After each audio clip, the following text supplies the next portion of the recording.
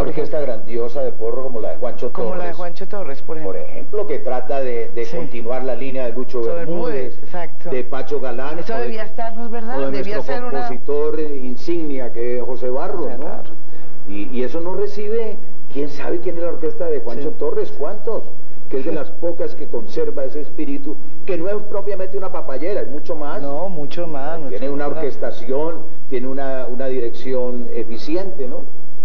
Pero es, es una lástima, un, un cierto desperdicio, una adoración por lo fora- foráneo, una colonización mental, la gente, eh, mucha juventud mirando a Miami, Ay, sí. parece su capital, para vestirse, para sus gustos, para su comida, esa comida mala, rápida, gringa, ¿no? De la hamburguesa, oye, ¿por qué no saborearse los deliciosos platos criollos que tiene este país? Las sopas de esta, de esta meseta cundiboyacense, Vea, por ya- favor. Y hablando de salsa colombiana, ¿qué, ¿qué cosas nuevas hay después de la época dorada?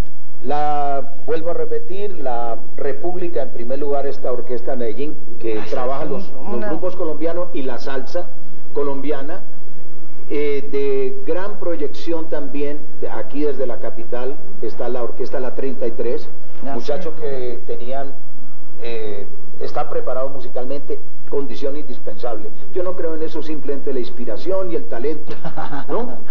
Y, y que dediquémonos a tomar trago que a- aterriza mi espíritu y me va a decir las letras y la música. Oye, eso pasaba en otros tiempos, ahora no puede creerse en eso. Hay que prepararse, ¿no? En el instrumento, ocho horas diarias, diez horas diarias, en la armonía y en la composición.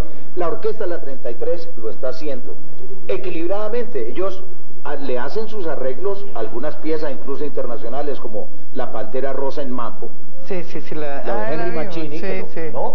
Sí, sí, Pero también tiene su propio repertorio, empezando por su tema eh, que los identifica y creando otras piezas. Lo que pasa es que la gente prefiere el aplauso fácil.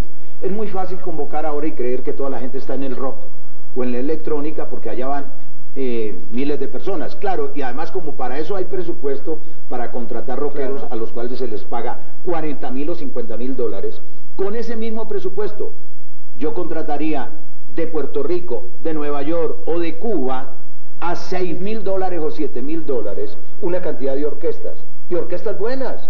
Que los bambán no están cobrando más de 8 mil dólares. ¿Y hace cuánto no vienen los bambán acá? Ah, Vinieron hace dos años y fue mal planeado, mal programado. Ah, sí, sí. Me parece que se perdió un poco. Primero el sonido muy malo en un lugar eh, cerrado donde se presentó en el norte de la ciudad. Y después en el Parque del Tunal que no tuvo la suficiente asistencia y preparación. Eso, esto hay que hacerle una preparación también en la radio, en la televisión. Aquí hay mucha gente que no sabe todavía lo que es la primera orquesta bailable de Cuba. Aquí dejemos esas ilusiones de que un deportista nos va a salvar.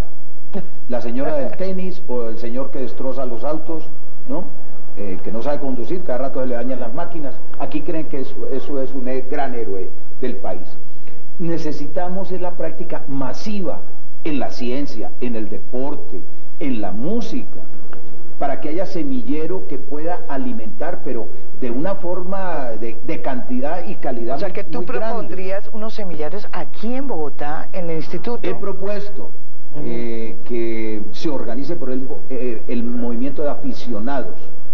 Ah, en sí. Cuba, yo he visto funcionando de una población de 11 millones, más de un millón de personas aficionadas que tienen calidad en su tiempo libre para dedicarse a la danza, a la música cantada o instrumental.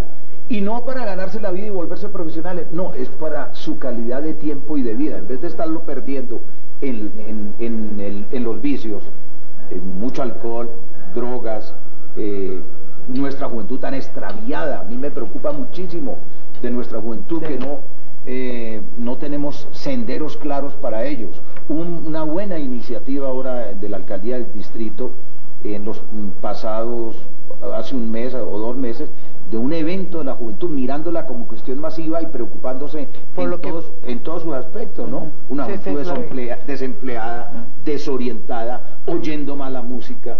¿no? Llena de reggaetón, con Sí. esas letras. o además. electrónica, que a- además perdiendo nuestras mejores tradiciones de nuestra música y del baile, ya no saben bailar. Yo lo veo en, mi, ta- en mi sí. cuando celebran eh, allá algún evento de grado, que los muchachos bailan es así, brincando, ¿no? Y con un cigarrillo en la mano y con una copa así que se les derrama, porque ya no saben la cadencia de cómo es un son, ni mucho menos la cumbia tan hermosa nuestra que tiene una coreografía complicada, pero muy cadenciosa, muy hermosa.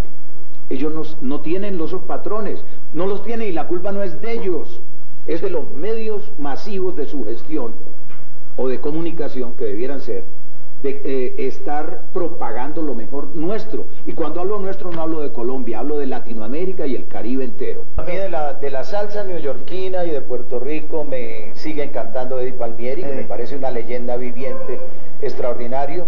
Y de Cuba, pues grupos como eh, Bam Bam, el Iraquere Bailable, ah, que, lo comanda Chucho, Valdés, y Juan Formela a los Bam Bam. Esas manos de Chacho Valdés, ¿no? Ahí ha estado en, Salomé descargando. Bebo el Cigala. Bebo. Bebo Valdés y con el Cigala. Sí. Me gustó mucho ese disco. A mí me pareció Con una salvedad de que no hay estrenos. El disco sería perfecto si... Si hubiera habido composición. Si Bebo Valdés, que tiene que tener unos boleros hermosos...